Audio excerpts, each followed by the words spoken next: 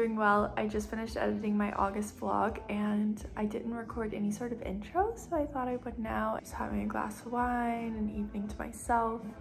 This vlog's an interesting one. I'm definitely kind of all over the place, which you'll see as the video goes on. But I wanted to come on and say hello to some new subscribers I've been getting. To be completely transparent, I haven't grown on YouTube in several years now. My subscriber level I've still been gaining subscribers, but I've also been losing a lot of subscribers. I mean, I've been on YouTube for like 12 years now, so it makes complete sense. But suddenly lately I've been getting an influx of new followers. I don't know if it's the renovation content or what exactly it is. I would love to know where you guys are coming from because I haven't been able to like find a clear video that you're coming from. Maybe I'm just in the algorithm again, but I wanted to say hi. Thank you for subscribing. I hope you're enjoying the content. We keep things pretty casual around here and I like my vlogs to just feel like you're having a chat with a friend. I love to just share simple and beautiful moments from life food, fashion, interiors, nature, animals, all of it. Also, if you're in a weekend hibernation, online shopping kind of mood,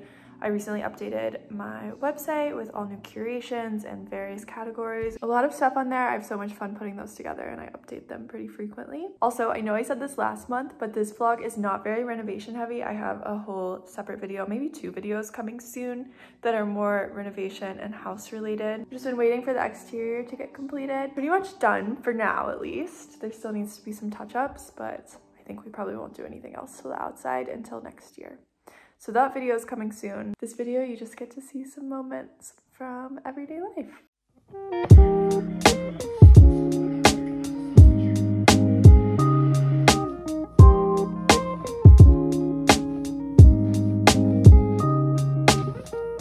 Wanted to start this vlog by sharing some new pieces I just got in. Some of these pieces are gifted, some are even loaned, which I'm gonna share with you. Some are also very budget friendly, so I thought that would be fun to share. I always wanna be incredibly transparent about anything that I got gifted or any brands that I'm working with, just because I think your guys' trust is so important. I really only show things that I like, but it does make a difference. I think people are lying when they say it doesn't make a difference. I just got these shoes in from Everlane and I am obsessed. They gifted me some new pieces with no obligation to post and these are their puffa clogs. They have them in a couple different colors. They have them in a color that's similar to this and I think a cream and then the black. These are so comfortable, you guys. I've been wearing them so much. I thought I'd have to at least like break them in. I always love clogs on people, but just when I see them, generally I don't think they look comfy, but these are. And if you've been looking for a shoe like this, you need these. They also have ones that have a bit less of a heel. I'm gonna have everything that I mentioned linked below. I've been wearing these so much since I got them in the mail. I also am so looking forward to fall and winter. Picked out this lovely camel colored sweater. I love Everlane sweaters and it's a half zip, super soft, not itchy at all. I'm really picky with my sweaters. I love their alpaca wool sweaters as well. I actually recently did a curation on my website. If you guys have been following me for a while, you know I always do those, where only budget-friendly pieces. I try to stay away from fast fashion as much as possible, or at least pick better companies. But I think there's some really lovely pieces in that curation if you want to check it out. They're all pretty like basic. But I definitely paid attention to fabric quality. So I want to make sure that I'm recommending nice pieces for you guys. And I also just got a lovely gifting package from Target. I'm wearing a top right now. They did a collaboration with Reese Blutstein. I don't know if you guys follow her on Instagram. A lot of you probably do. Her handle's Double Exposure and she just did a design collaboration with them. And I'm genuinely so impressed with the quality of the pieces. I will also have these linked below. I've been wearing this striped top so much. It's just like a striped Oxford. I'll show it to you. It's a bit wrinkled right now, but colors are perfect. They sent a couple of these sweetheart neckline tops. Again, such a beautiful color. I think these are like $20. If you're in the market for some super affordable pieces, I would recommend these. I really feel like they're gonna last. Usually in this price range, I would always recommend thrifting. I think it's so cool that you can get such chic styles at Target and there are a lot of other really great pieces in the collection as well and I'm so happy for her in that collaboration. Okay, this is on a totally different level. I got the craziest two packages the other day from brand clients that I just can't believe that they know who I am, basically. First one is from Aesop. They just came out with these bar soaps. They're really trying to move more in like a low waste direction. And then these items are loaned. So I'm working with Rebag on Instagram this month, which is definitely a dream client fits into the sustainability sphere so well. They have such an amazing selection of designer and luxury goods. I haven't purchased anything from them before, but I have sold a bag there before. They have a really lovely process for that. Basically, I got to pick out a few items that I could use for shooting content for them. And I have never had a Chanel bag in my possession. I don't think I've ever touched one before. And look at this one that I get to have for the month. It is this beautiful patent leather flat bag and I can't lie it does feel very nice and I've really enjoyed carrying it. I've never had like a super nice designer bag. I also haven't had that much of a desire. I feel like I'd rather spend my money on like home stuff if I'm choosing a material item. This is really beautiful. I definitely have had a Chanel reissue on my like dream bag wish list forever. I don't know if you guys are familiar with those. They basically just don't have the CC logo and they're a reissue of their vintage styles. One of my obligations for working with them was creating a curation of all my favorite styles that are currently on their site. They're doing a Labor Day sale where it's 15% off. So if you guys have your eye on any designer item and you've been looking for it secondhand, I would definitely recommend checking there. They also offer returns, which is really great. I know like on sites such as The Real Real, they don't allow returns at all in their handbags. And if you can't see something in person and you're spending a lot of money, you probably don't want to do that. I also got to pick out this vintage Bottega bag and this beautiful chocolate brown color. It's also been kind of a dream bag, but something that I probably wouldn't buy for myself. So it's been so fun to have it in my possession for the month. And then they also sent over an Hermes belt in a similar color to the Bottega bag, but it's packed away right now. So you guys will see my content for that soon. And definitely check out that curation if you're in the market for any designer items. I also put a lot of like vintage bags and maybe bags that you haven't seen before that I think a lot of you guys would like in there. This is a sneaker I purchased. I've had my eye on these for a while. I always see them on Pinterest. I kind of can't believe I went with the yellow color, but it kind of reminded me if you guys know, my green Prada loafers that I've had for years and I've found that they fit into my style so well even when I'm wearing mostly neutral colors so I kind of thought the same thing about the sneaker and I went with the yellow and black instead of black and white. They're also the Kill Bill sneakers, kind of iconic. Just fell up the stairs getting a delivery. Not fully, I caught myself, but I literally chipped my toenail polish off.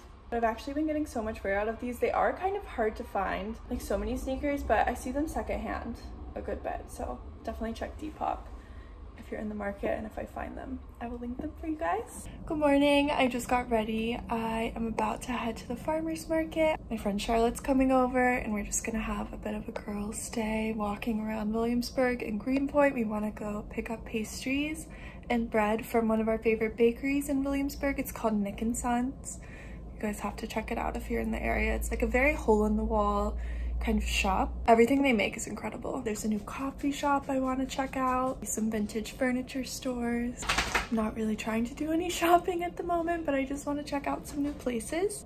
Hi.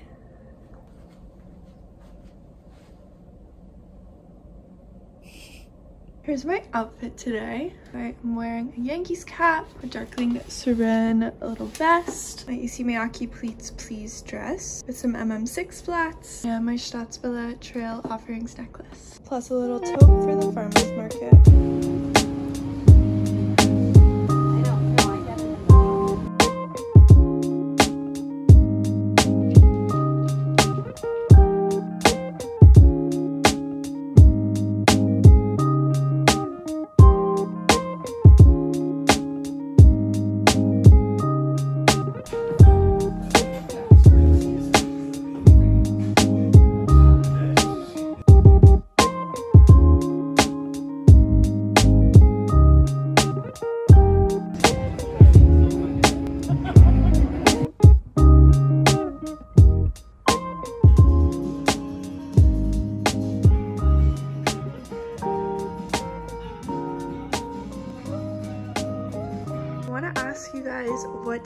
Light fixture you envision for right here. There's also another light in the hallway to the left of it. We already have these in our bedroom and living room. I still need to put the smoke alarm up there. but I really want to change out these light fixtures. I'm just not exactly sure what I should do, if it should be a flush mount, maybe a semi-flush mount. I don't think it can be that long, although it is high ceilings in here. If you have any ideas, definitely let me know.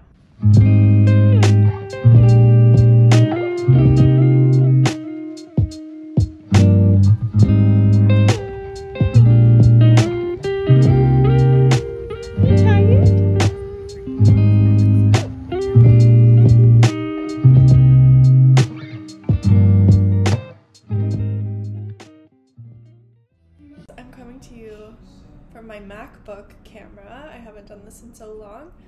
I have to say, I have been feeling extra weird since I started this vlog. I didn't mention it, but I feel like I kind of have to because I just feel like I'm gonna be acting off.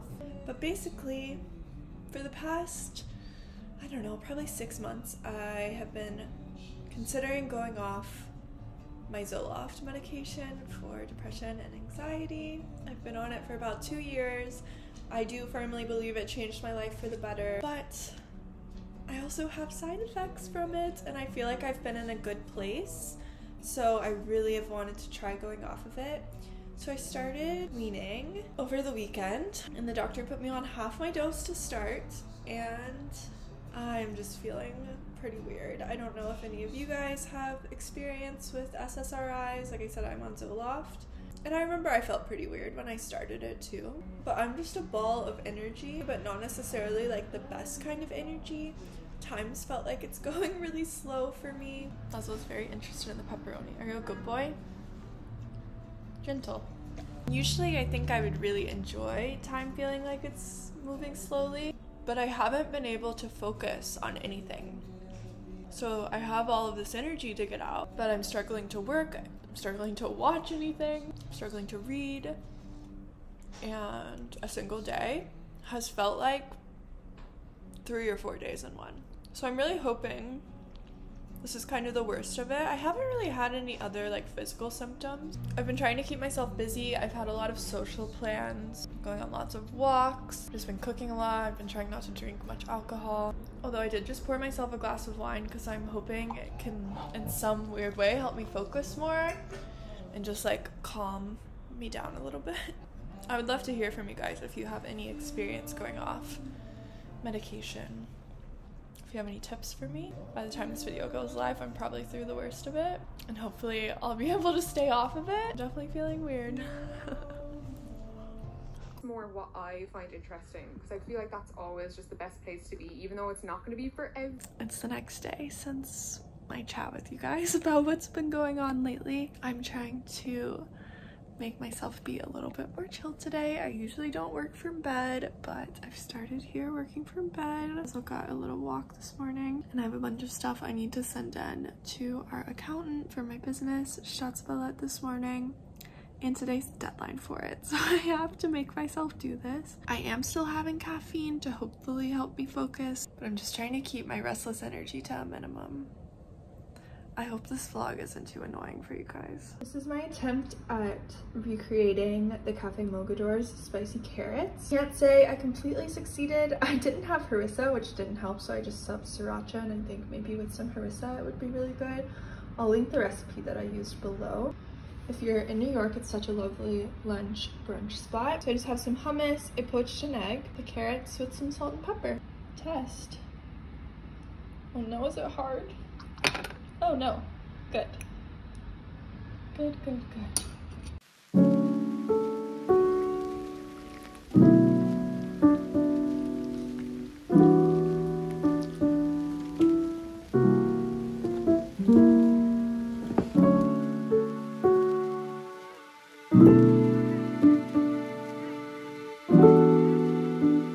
This is editing Kailee coming to you. I just wanted to tell you guys about this night in the vlog. I didn't get anything filmed at all. I feel like anytime that I go out and I'm having a fun time, I don't touch my phone at all, which is probably how it should be. But this evening I had a friend from college visiting, the same friend that I just went to Quebec with in the last vlog that you guys saw. She was in New York visiting and we just went out with like our old group of college friends. We're all still friends, but not everyone lives here anymore, and it was just such a lovely time. We went to a couple different bars and we went out to Greenpoint Fish for food. I definitely had too much to drink when I wasn't planning on drinking because of my medication situation that we've already touched on. We went to our friend's apartment in Bushwick and then we went to Cherry on Top, which is a really cute bar. Excuse Laszlo chomping in the background. And then we went to Greenpoint Fish for food and then we went out to Hotel Delmano in Williamsburg, which is just another bar. It's actually where Siggy and I had our first date and I think it is totally a date spot, but it's fun for a girls' night too. I really like to sprinkle in like New York spots in these vlogs just in case you guys are visiting. That's a frequent question I get. So those are some fun spots for like a chic kind of in between, not too casual, not too fancy night out in Brooklyn.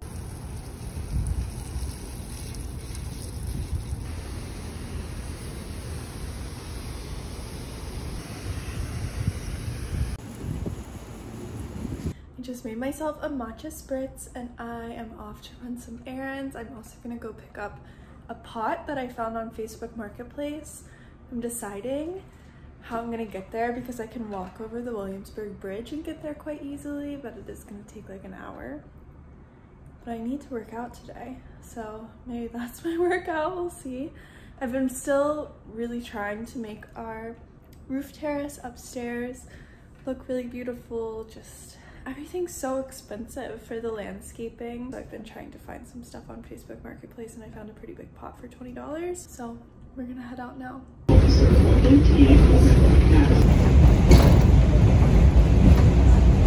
The guy I bought the pot from had so many of these large plants in his apartment and I complimented them. He cut some off for me to propagate myself. He was telling me that his girlfriend brought this plant back from Nicaragua like two decades ago, which is kind of crazy. So we'll see how these go. And here's our new pot. She's definitely worn in. This one's started to flower so much, which is lovely. These fully died when I left to go upstate one week, but now there's new growth on them again. Like the tree was done, I thought. But look at all those leaves. It's gonna come back.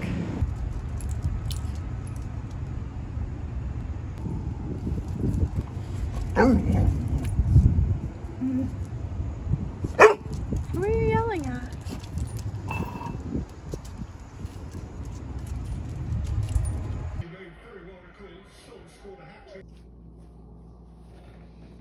Finding all these wild berries along our property now. Just so sweet. I'm picking some flowers for a bouquet. At the moment I need to style out one of our rooms because I'm working with a rug company and I need to shoot that today.